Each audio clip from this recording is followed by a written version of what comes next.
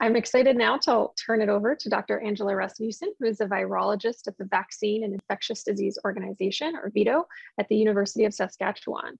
Dr. Rasmussen will be talking about the changing landscape of vaccine requirements, boosters, and vaccines, and variants, excuse me. All right, well, thank you so much, Saskia. And let me just share my screen here.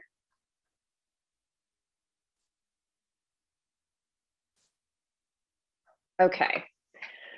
All right, so, um, oops. So as Saskia just mentioned, today I will be talking about uh, the, the changing landscape of vaccine requirements, boosters, and variants. Um, really, I'm just gonna be mostly talking today about variants given last week's news about the Delta variant and transmission in potentially vaccinated people um, and what that means in terms of needing boosters. And I'll we'll discuss a little bit the implications this could be for travel, but this is really going to be um, a, a fairly science focused presentation rather than a policy focused one. Oops. All right, so I, I, like to usually begin these by um, doing a territorial acknowledgement equity statement. And today I am in Saskatoon presenting from the Treaty 6 territory in the ancestral lands of the Métis people. Um, most of my research uh, throughout the past couple years has been performed here, as well as on the unceded ancestral homelands of the Duwamish, Puyallup, and Lenape peoples. And I acknowledge and honor the first peoples of North America, their tribal governments and histories and ancestry, and their roles to this day in caring for these lands and waters. And I also would like to acknowledge the long history of systemic inequity in academic science. Two institutions where I've studied and worked, Columbia University and Georgetown University, were founded using profits from the transatlantic slave trade and excluded women and people of color from their academic communities for nearly two centuries. This has left a long and painful legacy of racial and gender based inequality that continues to this day. And I encourage all of you watching to consider how you can contribute to making public health a more equitable enterprise for everybody.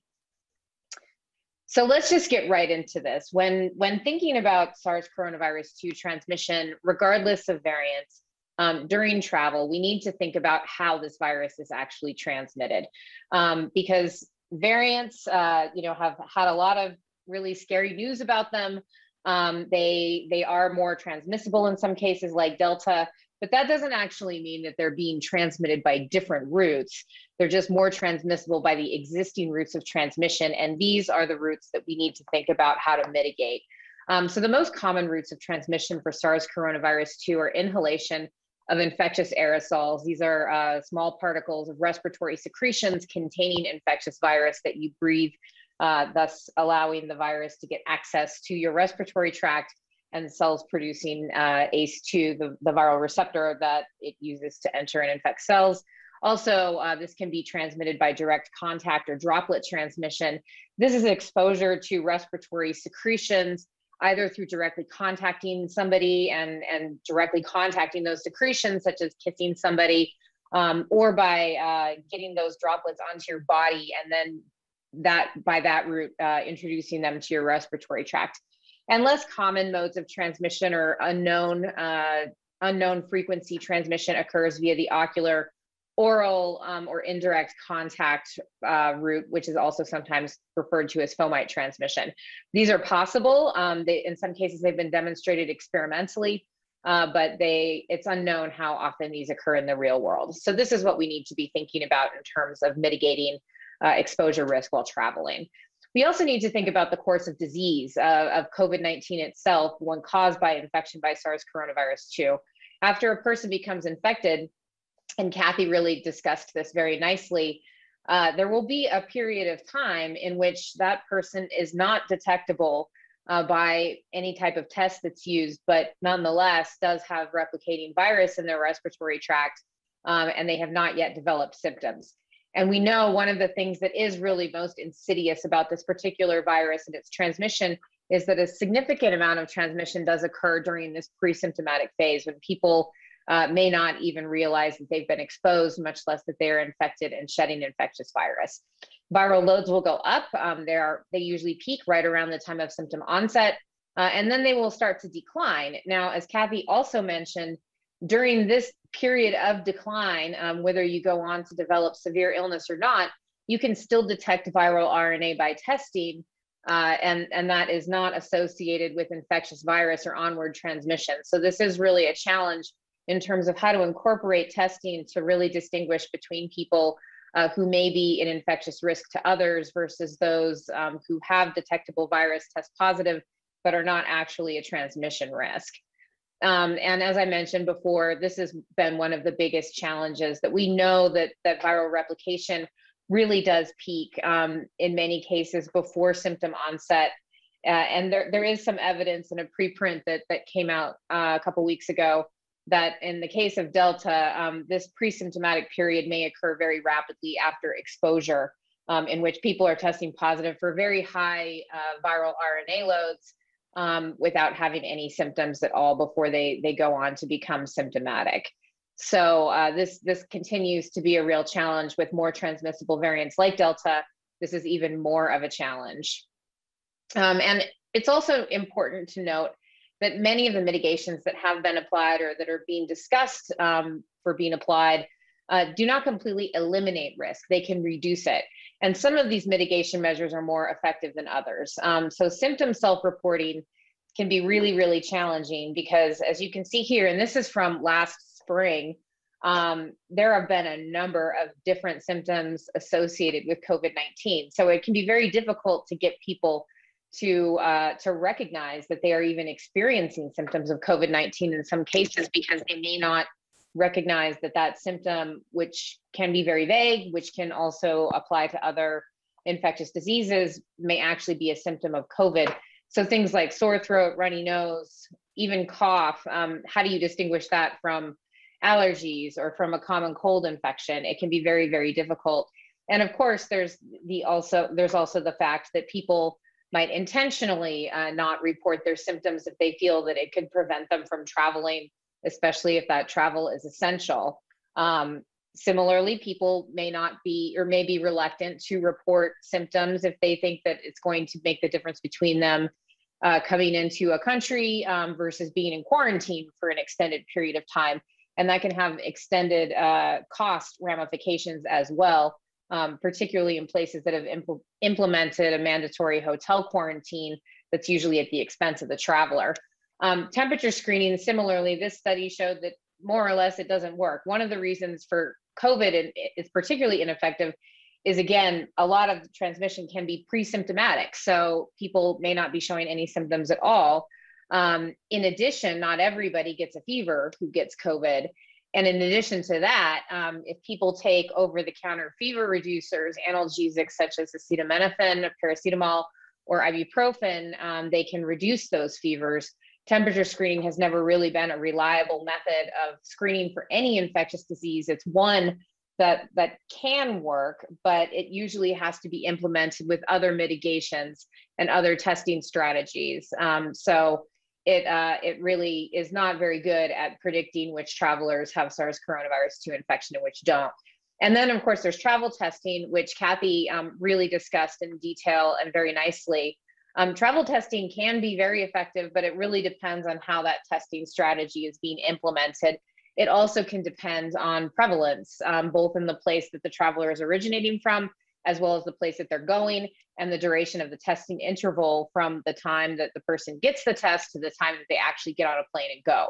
And one thing we really do need to think about, and this is why it's critical to think about these routes of transmission for SARS coronavirus 2, is that the, the process of traveling itself um, is high risk for transmission in many situations. Now, while while planes themselves, there has been transmission on long haul flights, but that that risk can be very effectively mitigated because planes do have uh, robust air filtration. They're generally well ventilated once they're in the air, and uh, and if people are you know spaced out, if there's control of capacity for passengers, um, the plane environment itself can be fairly low risk, especially if people are wearing masks. But um, the process of getting to the airport and people people take ride share, they may ride on public transportation uh, in poorly ventilated, crowded environments. When they arrive at customs, oftentimes that's very crowded. Uh, there's no ability to socially distance. There's no, um, there's not necessarily masks. There's not necessarily good ventilation in many arrival halls. Uh, there may not be air filtration. So, and there's extended close contact with others. So um, many parts of the travel experience can be uh, can be high risk for transmission. And if you are being tested three days before, even with PCR, which is more sensitive than a rapid antigen test, you could still become infected uh, in that interval of the, the three days and the time that you travel. Um, and that would potentially go undetected depending on what the, the arrival requirements are for testing. So it's important to, to realize that when we're talking about these mitigations in the context of vaccination or not, um, to, to note that they can reduce risk, but they don't necessarily eliminate it.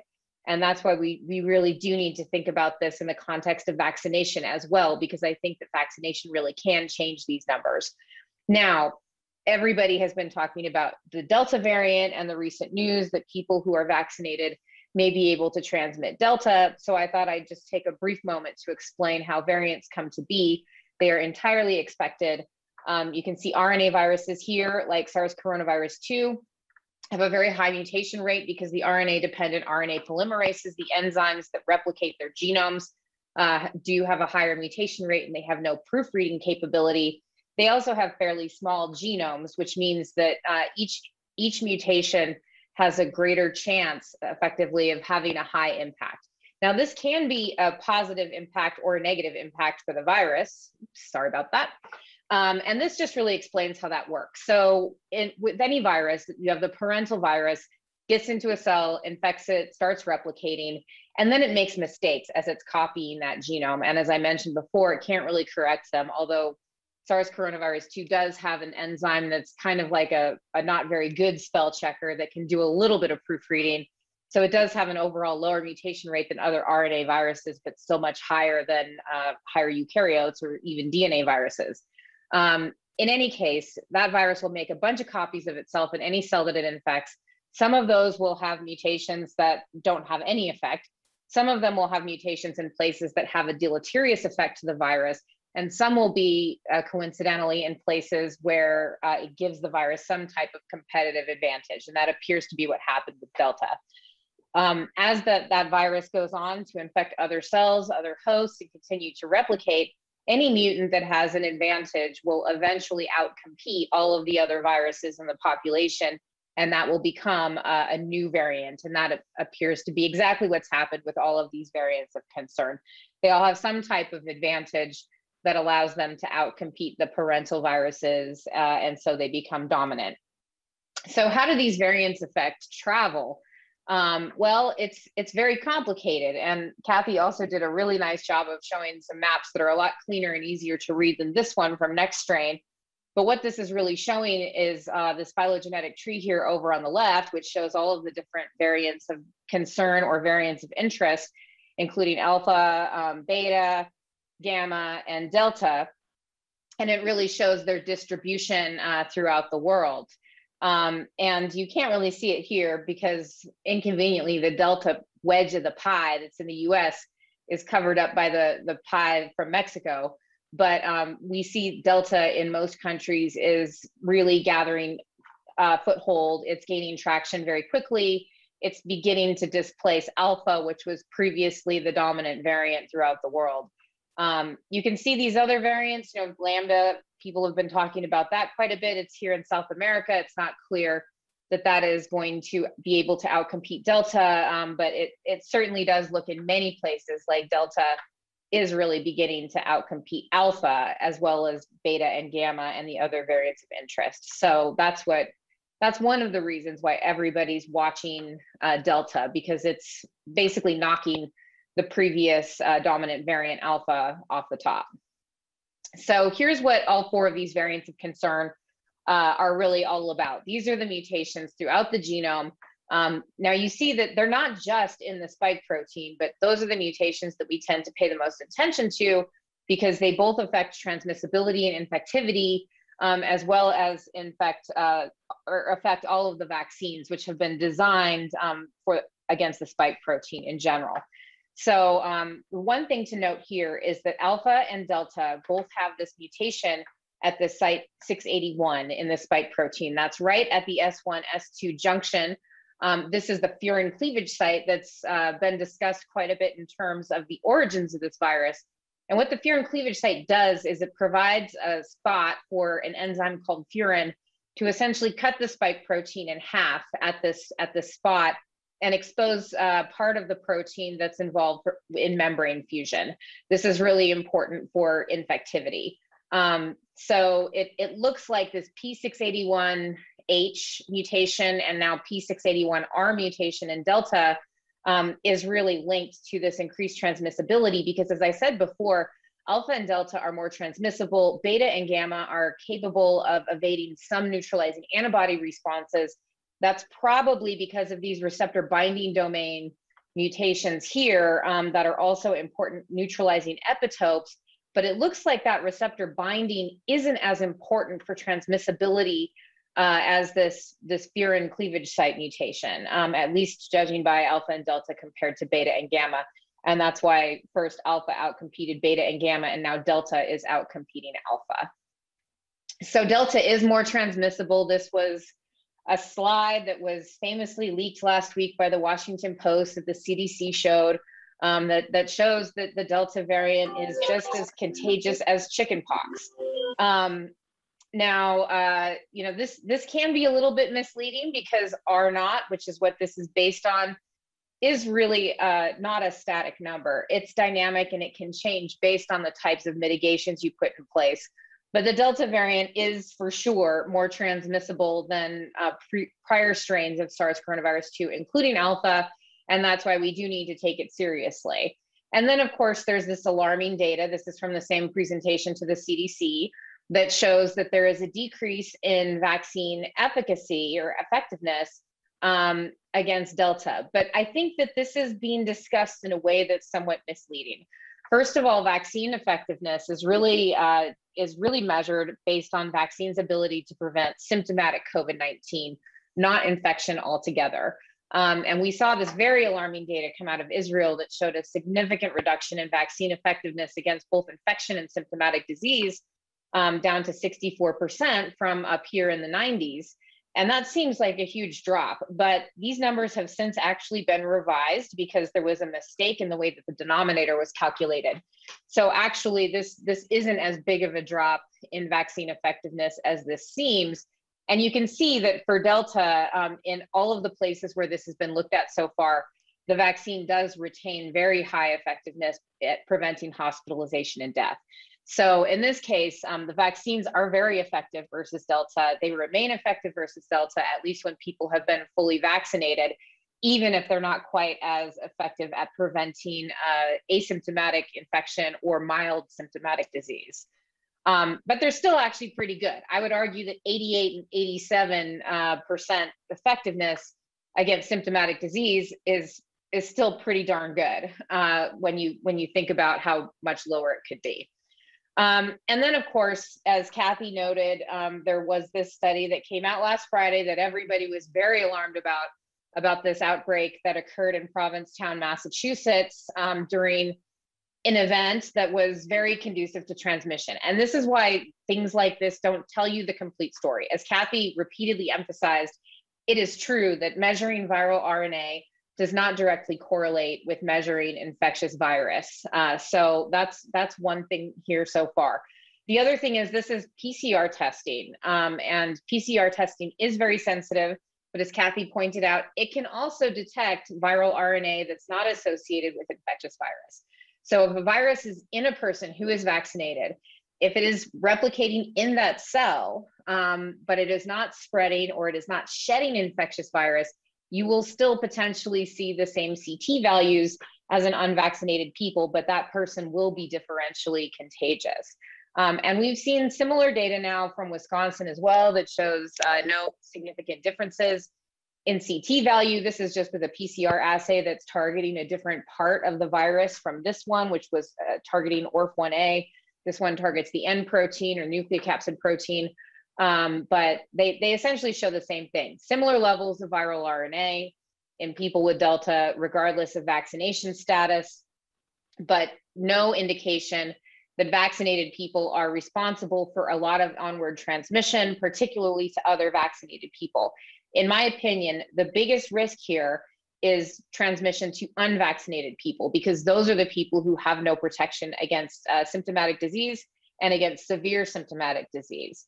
Um, while we still need to do more work to figure out if vaccinated people can transmit, can transmit onward. I think that there is some data to suggest that that they may not. And that's from this preprint that was uh, published also last week out of Singapore.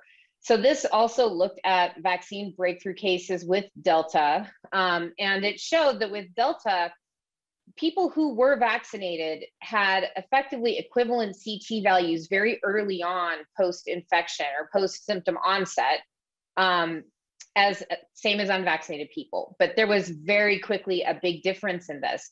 So six days after infection, you start to see these two curves separate. People with vaccine breakthrough essentially start having showing a very rapid increase in CT value, which corresponds with a, a, rapid decrease in viral RNA load compared to unvaccinated people. That suggests that in vaccinated people, uh, any breakthrough infection is being cleared much more quickly than it would be in an unvaccinated person. We also see much, much higher levels of neutralizing antibodies, at least as determined by the pseudovirus neutralization assay uh, that they used here compared in vaccinated people compared to unvaccinated. So this really suggests that actually vaccines are working the way that they are supposed to, that people who have been vaccinated do have these rapid, rapid responses uh, to breakthrough infection and uh, are capable of clearing the virus potentially through the action of neutralizing antibodies. So what are some virological mechanisms for these observations? Well, I was just talking about that a little bit, but here I'll just go briefly into some more detail. When a virus, SARS coronavirus 2, infects your cells, um, the first step is binding and entry. Now, if a vaccine can prevent infection altogether, it's probably because of neutralizing antibodies uh, preventing the virus from getting into the cells in the first place at this step. But if you're exposed to enough virus, and there is some data that suggests that people infected with Delta have much higher viral loads than people uh, infected with other with other variants, um, then you know you can be exposed to enough virus, even if you're vaccinated, you you can become infected. So this then the virus is going to go through its its replication cycle, um, but your body will is primed to recognize this virus. And so it will rapidly um, induce anamnestic responses. That should say anamnestic. Um, that, that means that it will start cranking out tons and tons of neutralizing antibody. That might mean that progeny virus, new viruses being synthesized that would go on and infect another cell in your body or infect another person are going to be neutralized before they can go do that because of all these neutralizing antibodies that are out there. And then this anamnestic response also um, triggers cytotoxic T cells or CD8 positive T cells to go around killing infected cells, as well as cytokine induced memory natural killer cells. And this will rapidly remove uh, any infected cells so you can't even make any more new virus. Um, this could potentially explain what we're seeing from Singapore, um, why these vaccines might not actually mean that people who are vaccinated and infected are equally contagious, even though they have equal levels of viral RNA shortly after exposure. Um, of course, this is all a hypothesis, needs to be tested more, uh, but this is consistent with how we know vaccines uh, prime the immune response to occur very rapidly upon re-exposure to the antigen. So that's the, now's the big question. Do we need boosters? Um, I think that partly depends on what you and how you define vaccine effectiveness. But as I mentioned, all of these trials have defined it based on uh, their ability to protect against symptomatic COVID 19. Based on that metric, um, I don't think we need boosters right now based on this data. Um, that said, you know, in many countries that have surplus doses, boosters may well be recommended. I don't think boosters are unsafe. Um, but I do think that that we might do better by prioritizing immunizations in unvaccinated populations rather than boosting in countries with surplus doses. Because as I said back when I was talking about mitigation measures, um, the, the way that some of these mitigation measures work really does depend on prevalence in any given country. If we can vaccinate broadly in many different countries, especially those that haven't had broad access to vaccines, prevalence is going to go down overall. So I would argue that that for uh, vaccines to help with reopen international travel, um, that that really we'd be better off prioritizing vaccines for people who haven't yet had any vaccine versus boosting people who've already been vaccinated with vaccines that by most measures are actually still quite effective even against delta.